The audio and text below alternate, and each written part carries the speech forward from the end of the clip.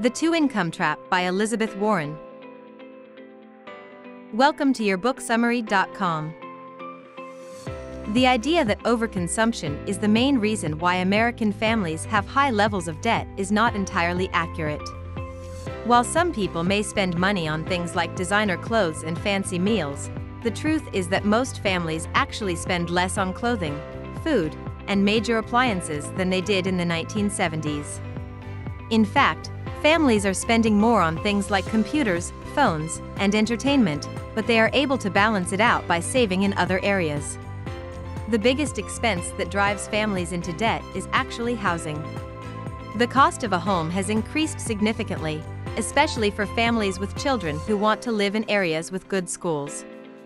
The desire to provide a good education for their children can lead parents to overspend on housing just to be in a good school district.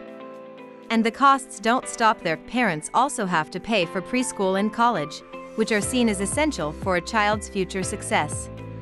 So, it's not necessarily excessive spending on luxury items that is causing families to be in debt.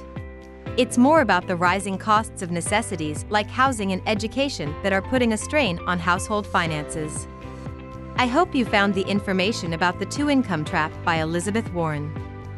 If you're interested in learning more about the book, Stay tuned for the next part of this series where we'll dive into the next section.